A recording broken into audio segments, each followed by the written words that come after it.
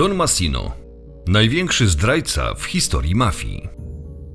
13 marca na ekranach polskich kin zagości film pod tytułem Zdrajca, opowiadający historię Tomaso Buscetty, mafijnego bossa, który swoimi zeznaniami pogrążył sycylijską Cosa Nostrę. W tym materiale przypomnimy sylwetkę tej charyzmatycznej postaci, zwanej bossem dwóch światów.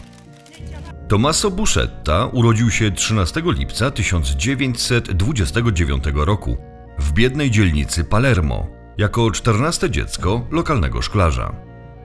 Od najmłodszych lat bardziej niż nauka interesowała go ulica. Jak wspomina jego młodszy brat Vincenzo, Tommaso porzucił szkołę w piątej klasie i poświęcił się próżniaczemu i rozwiązłemu życiu. Ówcześni sąsiedzi zaś zapamiętali go jak w wypomadowanych włosach dumnie przechadzał się przez Oreto, dzielnicę slumsów. Sam Tommaso o swoim dzieciństwie mawiał: Byłem urodzonym mafiozo na długo przedtem, zanim zostałem zaprzysiężony.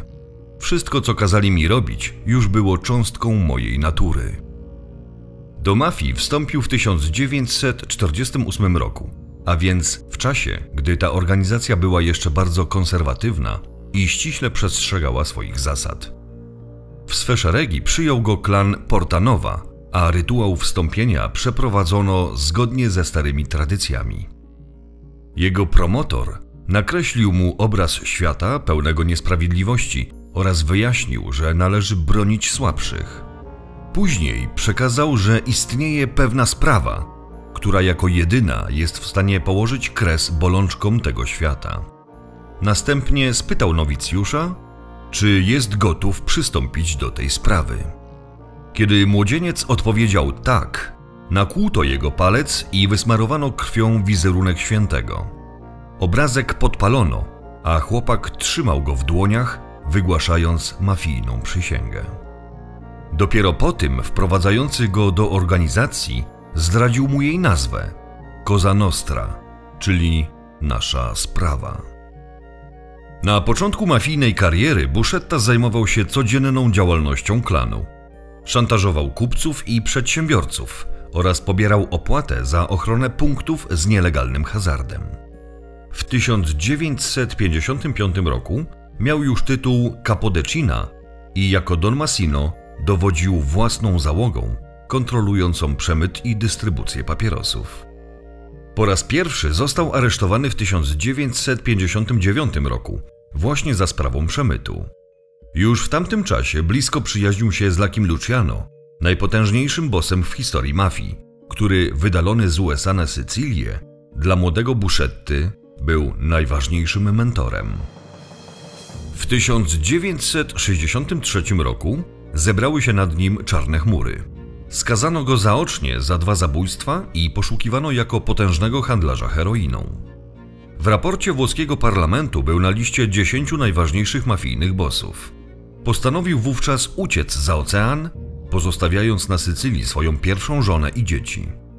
Będąc na miejscu, zorganizował sobie fałszywą metrykę i osiadł w Nowym Jorku. Tam ożenił się po raz drugi, nie dbając o to, że miał już jedną żonę we Włoszech. To zachowanie mocno oburzyło starszyznę Kozanostry, ponieważ bigamia jest sprzeczna z mafijnym kodeksem.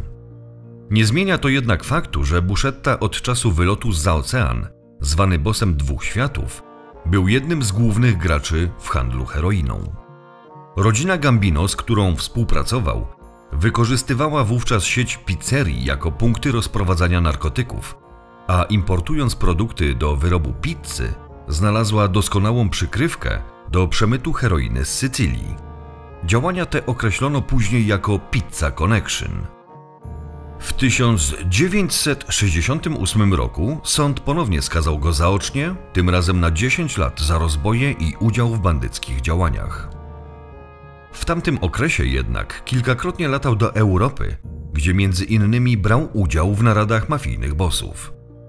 W 1970 roku, po powrocie do Nowego Jorku, został zatrzymany. Wyszedł po wpłaceniu kaucji i uciekł do Brazylii, pozostawiając drugą żonę i żeniąc się po raz trzeci. Tym razem wybranką została Christina, córka tamtejszego prawnika z politycznymi powiązaniami. Koneksje jego teścia okazały się jednak pułapką i Buszetta w 1972 roku został aresztowany przez brazylijskie władze. Mimo bolesnego torturowania prądem i wyrywania paznokci, nie powiedział ani słowa o Kozanostrze. Po ekstradycji do Włoch nadal milczał jak grób. Kiedy trafił do więzienia, miał posłuch zarówno u współosadzonych, jak i u personelu. Nosił tylko markowe ubrania, używał drogiej wody kolońskiej, a na jego stole gościły nawet ostrygi. Nigdy nie podnosił głosu i nie wdawał się w spory. Zawsze towarzyszyła mu aura charyzmy, jaka cechowała bosów starszego pokolenia. Jego władza przeszkadzała jednak liderom klanu Scorleone, który postanowił wprowadzić całkowitą dominację nad organizacją, posuwając się do intryg, skrytobójstw i skłócania rywali, łamiąc tym samym wiele zasad Koza Nostry. Wszystkiemu winne okazały się narkotyki. Do połowy lat 70. mafijne klany Sycylii żyły we względnej symbiozie i pokoju. Kiedy jednak coraz potężniejsze przychody zaczęła przynosić heroina, doszło do walki o władzę absolutną. Największym agresorem w tym temacie okazał się klan Corleonesi na czele z Totoriną i Luciano Leggio.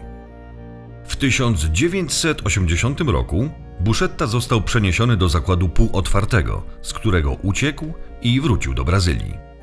Swoim wyjazdem z Włoch uniknął krwawej rzezi, jakiej dokonał klan Scorleone na mafiozach, którzy nie przeszli na ich stronę. W latach 1981-1983 w wojnie domowej mafii na Sycylii zamordowano 400 osób. Buszetta nie zamierzał włączać się do wojny. Planował raczej ściągnąć najbliższą rodzinę do siebie. Nie zdążył. Ktoś rozpuścił plotkę o tym, że Don Massino wraca rozprawić się z wrogami, więc Rinna i Leggio dobrali się do jego bliskich. W krótkim czasie zabito jego dwóch synów, zięcia, brata, bratanków i siostrzeńców. Łącznie 12 osób. Co ważne, żadna z nich nie należała do mafii. Choć kodeks, na który przysięgał Buszetta, zabraniał zabijania ludzi nie będących członkami Koza Nostry. W październiku 1983 roku Buszetta został ponownie aresztowany przez brazylijskie władze, a w kolejnym roku nastąpiła jego deportacja do Włoch. W czasie transportu dokonał próby samobójczej, połykając fiolkę z trucizną. Gdy go odratowano, oświadczył, że zacznie zeznawać, jeśli zagwarantuje się jemu i jego rodzinie bezpieczeństwo. W 1984 roku zaczął składać zeznania przed legendarnym antymafijnym sędzią Giovannim Falcone. Na wstępie oświadczył: Chcę podkreślić, że nie jestem kapusiem. Jestem zmęczonym człowiekiem, który wie, że to, w co wierzył, już nie istnieje. Chcę powiedzieć to, co wiem o tym raku, jakim jest mafia. W liście do żony opisywał jednak, jak wielką traumą dla niego było przyznanie się do bycia mafiozo i złamanie omerty. Była to najtrudniejsza decyzja w jego życiu. Przez następne 45 dni szczegółowo opowiadał o funkcjonowaniu Kozanostry, sposobach działania poszczególnych klanów, handlu heroiną, powiązaniach z polityką i licznych morderstwach. Na podstawie jego zeznań wystawiono aż 700 nakazów aresztowania. Masowo zatrzymywano nie tylko członków Kozanostry, ale również neapolitańskiej Camorry i kalabryjskiej Dranghety. Projekt aktu oskarżenia wynosił 8636 stron i objął finalnie 475 mafiozów. Włoskie społeczeństwo poczuło po raz pierwszy, że mafia nie jest nietykalna. Masowy proces, nazwany Maxi procesem, ruszył w lutym 1986 roku w specjalnie przygotowanym bunkrze zawierającym 30 klatek dla oskarżonych mafiozów. Przestępcy wielokrotnie próbowali doprowadzić do przerwania procesu i zakłócali porządek. Ubliżali Buszetcie i zażądali konfrontacji z nim. Kiedy jednak po raz pierwszy wszedł na salę, zapadła martwa cisza. Jako mafiozo nie jestem skruszony, nie wyrażam skruchy. Jestem człowiekiem, którym byłem. ale nie czuję się już częścią organizacji, do której należałem. Od lat 70. organizacja znana jako Cosa Nostra zaprzepaściła swoje ideały. Przykładni ludzie mogą uważać je za nieczyste, ale dla nas one były kiedyś piękne. Przemówił w sądzie Buszetta, dając do zrozumienia, że nie czuje się zdrajcą. A za takich uważa mafiozów, którzy zniszczyli ideały Cosa Nostry, rozbijając organizację przez krwawe spory o handel narkotykami. Kiedy wyszedłem z więzienia, zrozumiałem, że narkotyki zmieniły wszystko. Lojalność wobec rodziny i kodeks szacunku, jakie znałem, szybko stawały się przeszłością, mówił Don Massino.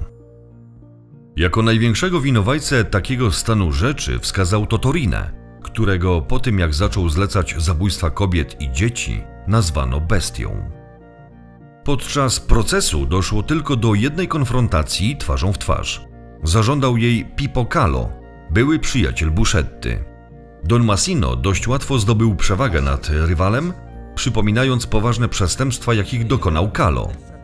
Po tej rozmowie nikt więcej nie chciał z nim konfrontacji.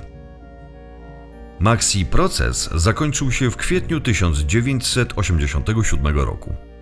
W jego wyniku 19 głównych oskarżonych skazano na dożywocie. Kara pozostałych 338 mafiozów wyniosła łącznie 2655 lat. Sycylijskie klany zostały zdziesiątkowane, a sieci handlu heroiną rozerwane. Żaden świadek wcześniej ani później nie wywołał takiego spustoszenia w strukturach mafii. Mimo potężnego sukcesu władz, wciąż umykało im ponad 150 mafiozów, w tym sam Totorina, skazany zaocznie na dożywocie. Zanim aresztowano go w 1993 roku, zdążył zlecić zabójstwo sędziów Falcone i Borsellino, nie licząc się z postronnymi ofiarami. Buszetta wraz z rodziną został przyjęty przez amerykańskie władze, gdzie zeznawał w sprawie Pizza Connection. Śledczy zauważyli jednak, że często pomijał swój udział w konkretnych zdarzeniach. Za to o większość zbrodni oskarżał swoich wrogów z Corleone. Do końca życia nie przyznał się do handlu narkotykami. Włączono go jednak do programu ochrony świadków i zmieniono tożsamość. Regularnie zmieniał miejsce zamieszkania. Jako były boss, przytłaczający niegdyś swoją władzą i charyzmą, nie potrafił jednak odnaleźć się w nowej roli domatora, utrzymanka władz i żony. Nie mógł pracować ani spotykać się z Włochami. Do ojczystego kraju pojechał dopiero gdy zamknięto w więzieniu jego śmiertelnego wroga Totorinę.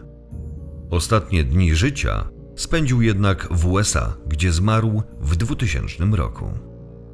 W filmie Zdrajca w reżyserii Marco Bellocchio będziemy mogli ujrzeć proces przemiany bossa dwóch światów – od szczytu mafijnej struktury i wystawnego życia, przez decyzję o złamaniu omerty, po przeciętny żywot obywatela USA.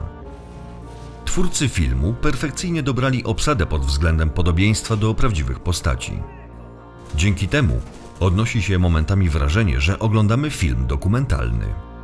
Wzorowo oddano również przebieg maxi procesu, przenosząc prawdziwe wypowiedzi mafiozów na ekran filmowy. Za dystrybucję filmu w polskich kinach odpowiada Gutek Film. Premiera 13 marca.